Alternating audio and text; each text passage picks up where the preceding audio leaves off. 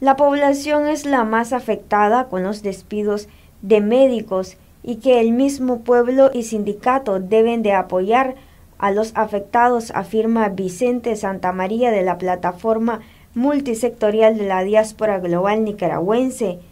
Creo que es realmente preocupante porque la realidad es que el pueblo de Nicaragua debe dar un apoyo incondicional a su gremio médico, partiendo inclusive de la misma posición. Creo que debemos de apoyar al gremio médico, son los que verdaderamente están cuidando a nuestra familia y cuidándonos a nosotros mismos al momento que caemos en los hospitales y caemos con un problema efectivamente eh, de salud. Entonces, por lo tanto, es inconcebible que no estemos como pueblo apoyando a este sector incondicionalmente. El mismo pueblo de Nicaragua, el mismo pueblo de Nicaragua, porque la realidad de las cosas es que lo que está tratando de vender Ortega es que en Nicaragua no pasa nada.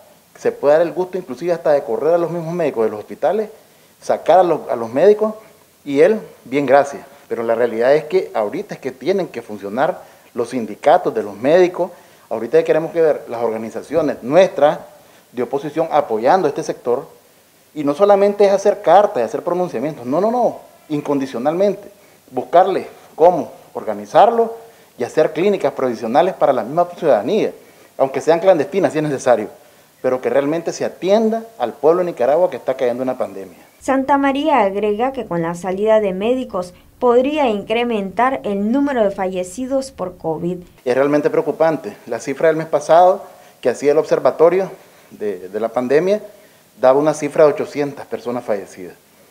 Evidentemente, con la salida de estos médicos se incrementan esos números para este mes. Y estamos en la parte o una fase de cumbre de la pandemia, o sea que esto no para todavía.